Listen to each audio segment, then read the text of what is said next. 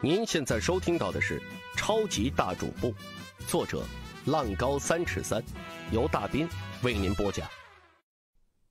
当城头之上那个声音响起的时候，胡德如遭雷击，他几乎同时看向城楼之上，然后他看到了那个人影。很多年了，胡德成为咖啡谷的老大已经很多年了，但是这么多年以来，他只要一闭上眼，总会看到那个影子。因为那个影子让他喘不过气来，甚至他从来没有真正的放松过。他知道，只要那个男人回来，自己将会失去一切，所有的一切也都将结束。所以，胡德无数次的祈求上天，就让卡尔金夫一直待在荒野区，永远永远都不要回来了，因为他回来就代表着自己的一切彻底的结束了。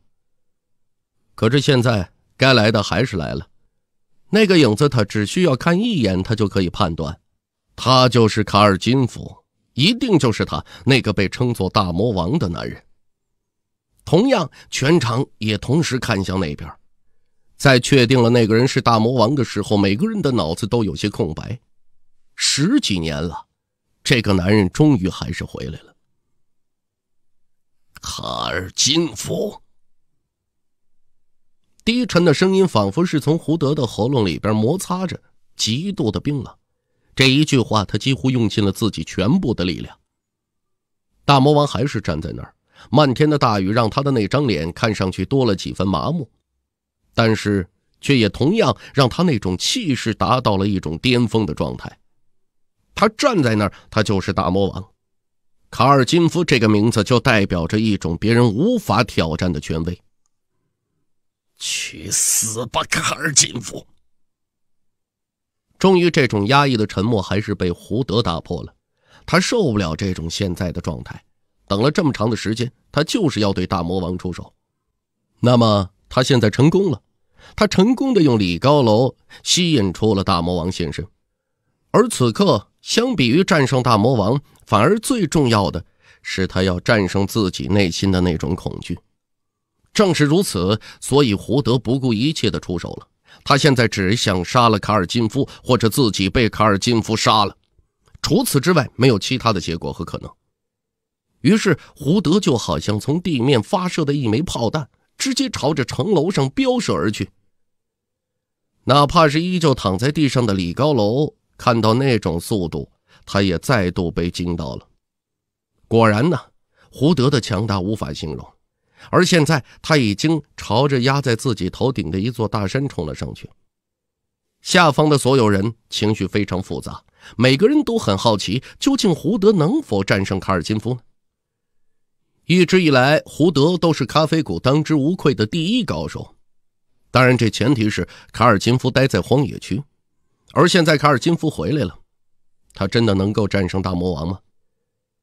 大家伙什么都顾不上了。现在只顾着吃瓜了，甚至李高楼都很好奇，胡德能战胜卡尔金夫吗？面对来势汹汹的胡德，卡尔金夫没有任何动作，他就是站在那儿，没人知道他在想些什么。不过，在胡德已经到了他面前的时候，卡尔金夫却突然之间消失在原地，胡德的拳头却是没时间再收回来了，然后随着他的瞳孔猛然间收缩，紧接着一个影子从天而降。那可真是从天而降，就在所有人的眼中，卡尔金夫突然间踩着胡德就落下来了。本来气势汹汹的胡德，在这一刻他什么都做不了，那种感觉就好像他完全被禁锢住了。卡尔金夫的强大根本不是他能够想象的，这一脚已经踩碎了胡德的胸骨。落在地上的时候，他躺在那儿，满脸都是血迹，眼中带着深深的挫败感。他终究是无法战胜卡尔金夫的呀！一直以来，他所谓的强大根本就是个笑话。咖啡谷是我的，任何时候都是我的。依旧是冰冷的声音，卡尔金夫简直如同一座铁塔。说完之后，他一拳轰碎了胡德的脑袋。这一幕非常血腥，但是在马克他们这些人看来。却是这个世界上最美妙的画面。广场之中安静了下来，没人想到胡德就这样没了命。一波三折之间，却又真正是出乎意料啊！不过傻子都知道，咖啡谷变了天了。胡德死了，大魔王又回来了。十几年之后，那个曾经缔造了咖啡谷的男人，如今回来会怎么样呢？同样，伴随着他的回归，咖啡谷又会变成什么样子？这些谁都不知道。没再去理会胡德的尸体，卡尔金夫朝着李高楼走了过来。如果现在胡德还能从地上爬起来，那他大概也就是个鬼了。同样，李高楼也艰难的站起身。跟卡尔金夫在这儿重逢，实在是李高楼不怎么希望看到的。至于说华雷斯跟穆苏他们，却下意识的往后退了退。大魔王这三个字对他们而言，绝对是一种阴影啊！现在真的看到了这家伙，自然下意识的跟他保持距离。不过大魔王却压根没理会他们，走到李高楼的身边，突然猛地攥住了李高楼的脖子。这一下，所有人都吃了一惊。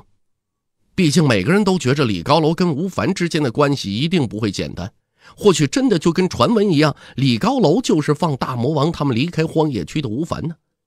但是现在这画风好像不怎么对呀。不过面对着看上去非常凶残的大魔王，李高楼表现得非常平静，因为他可以感觉到大魔王对自己没有杀意。既然这样的话，那只能说明大魔王是故意这么做的。事实上，自己以李高楼的身份出现，可能这瞒得了别人，但李高楼可以确定，他绝对瞒不了大魔王。他绝对知道自己就是吴凡。他这种级别的强者，感知力远超普通人。只是一张脸的变化，对他来说根本不算什么。他必定可以确认自己的身份。那么，他现在的做法只能是一个原因：他在保护自己。差不多在李高楼刚想到这儿的时候，大魔王直接一拳砸在他身上，力量非常足，以至于李高楼直接趴了下去。紧接着，大魔王的声音响起：“把他们全都抓起来！山川咖啡谷就是我们的敌人。”这一刻的大魔王已经完全进入了咖啡谷老大这个身份了，而且偏偏没有任何不适应。那些卫兵本来是胡德训练的，现在呀。却自然而然的老老实实的听大魔王的话。立马，所有枪口对准了李高楼和华雷斯他们，气氛再度变得紧张。就在穆苏已经抬起枪打算动手的时候，李高楼对着他们偷偷的摇了摇头。因为他的这个动作，于是众人便再没去反抗，任由卫兵把他们全部都抓了起来。尤其那李高楼是最惨，那是五花大绑啊，被送进了牢房。于是所有人都开始相信，之前所谓那什么李高楼啊，就是吴凡，他就是大魔王的朋友，就这种说法，胡说八道。李高楼完蛋了。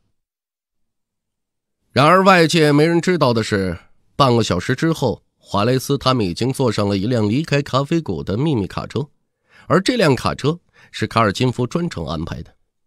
李高楼还是在咖啡谷里，而华雷斯他们却被安排离开了。从头到尾，他都没去告诉别人究竟李高楼是不是吴凡这个问题，但这个做法却足以说明一切。